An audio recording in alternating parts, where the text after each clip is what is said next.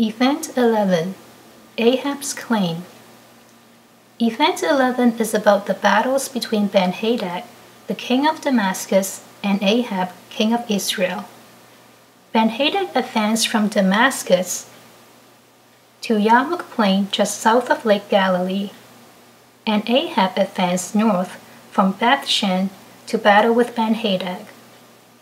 This region here south of the lake in the Rift Valley is significant because it bridges the plain of Bashan with the Jezreel Valley.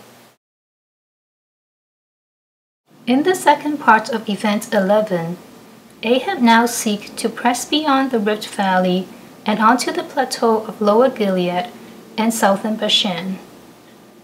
Ramoth Gilead is located in Lower Gilead, where routes from Beth Bethshan intersects the Transjordan Highway. If Ahab were to control the region of Ramoth Gilead, he could reassert Israelite control in Bashan as in the days of Solomon.